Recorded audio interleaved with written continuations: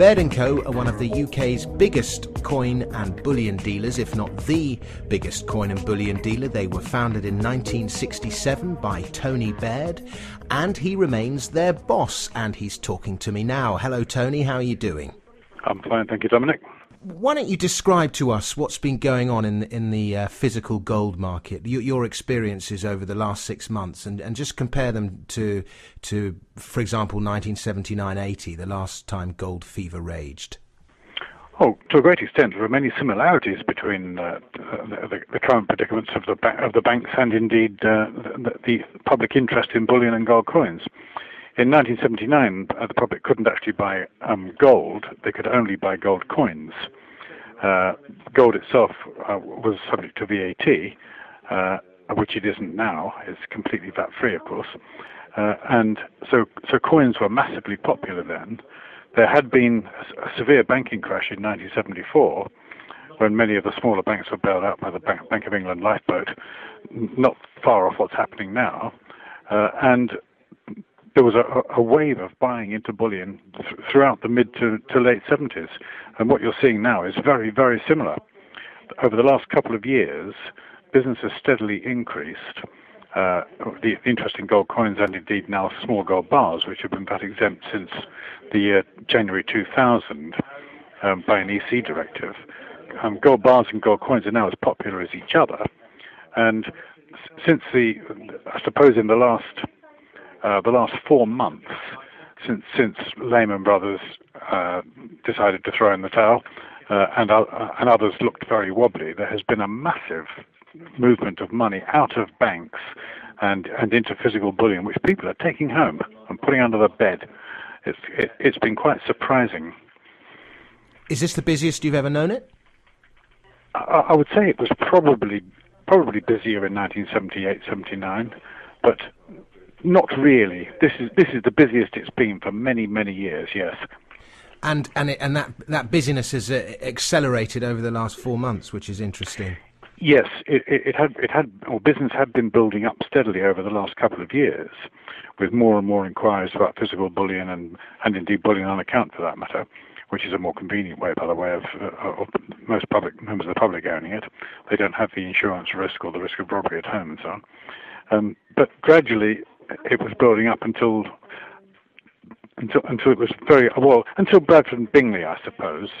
That was that was the main trigger when people realised that their money in banks was only safe up to up to the as far as the government guarantee uh, on deposits was concerned, and they've just been lowering the value of the money they've got in banks and spending it on physical bullion. And Bradford and Bingley would have been the start of it. That was probably a year ago now. On your website, uh, you say there are delays on uh, gold, silver, platinum, and palladium bars, and uh, you seem to be out of stock of various coins. Is there, is there a real shortage of physical metal at the moment? Uh, there's not a shortage of physical metal as such. Uh, don't forget that our bars are manufactured by us. And so we have a, a, manufacturing capacity that's tailored to suit what we would not call normal levels of business. Um, but the volumes of business that we've been putting through in the last four to five months have increased so much that our manufacturing capacity is now stretched. And so on that front, the delays are simply getting the queue, they're coming off the end of the production line as fast as possible, and you'll, and you'll be a week or three getting delivery. Mm-hmm. Um, but as far as the gold coins are concerned, we normally carry millions of pounds of gold coins. Um, we're big stockists. Um, and but those stocks have been going one way, that is out of the door, for the last three or four months, and our stocks are very low. And so w- what we've decided to do is because the market is so volatile, uh, and we there aren't many sellers, and therefore there are no um, uh, obvious premiums available on people selling stuff to us. We were we are reluctant to sell anymore simply because we don't know what premium to charge because the replacement premium isn't apparent because there are no sellers. And so we've stopped taking orders for most gold coins, um, although our stocks are slowly building up again.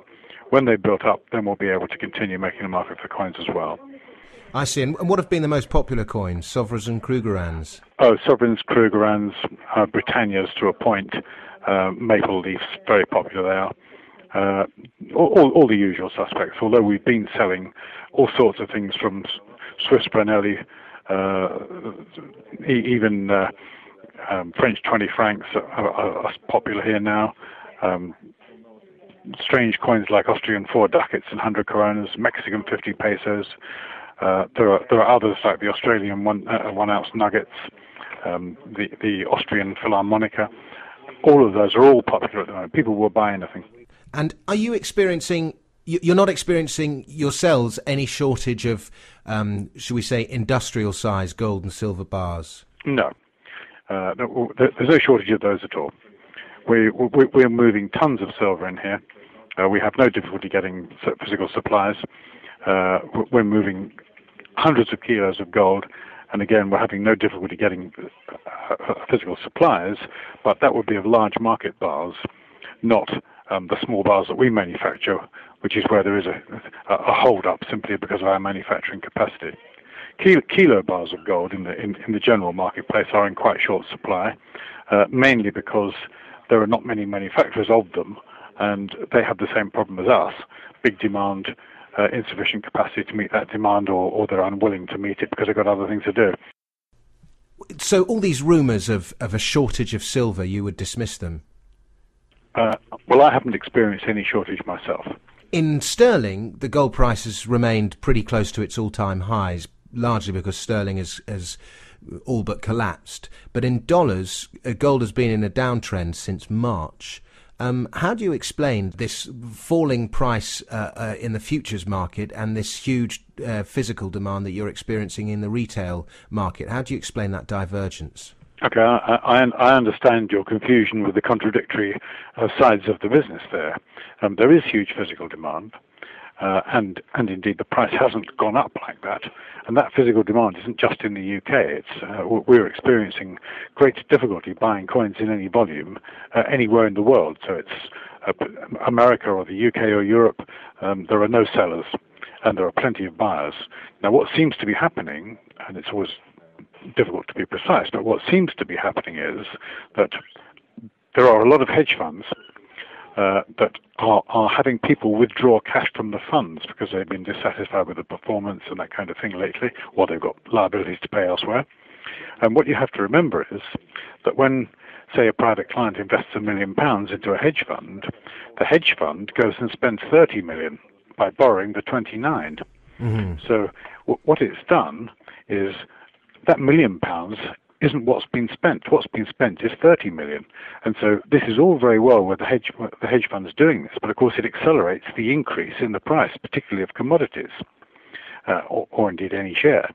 And so having, having been rather one way, that is, depositors have had their, their, their, deposits multiplied and spent on the commodities, that, that is what has forced up all the commodity prices to a great extent. Now, the hedge funds themselves are being margin called, uh, uh, and so therefore, because they're taking losses on things like shares, and they are they are being forced to sell something to raise the cash to pay for the the margin calls on the other things that they're losing money on. Now, the first thing that happens is that they sell the profitable items, such as their commodity positions, including gold and silver, of course, and so they're selling the paper, if you like, into the the market, the same market, where there is big physical demand. So the physical demand is actually stopping the, the market from collapsing entirely. Um, with all that weight of paper on it, it would have gone down much more if the physical buying hadn't been in place.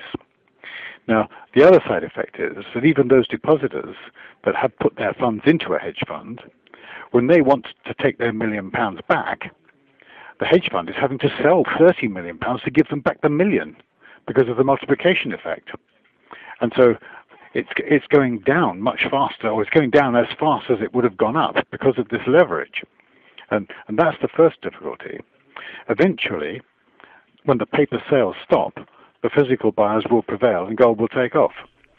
What's and so will silver.